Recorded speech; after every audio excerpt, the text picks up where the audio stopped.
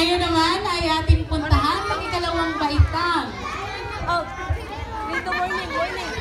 Lino, morning, morning. Buti yung lines daw.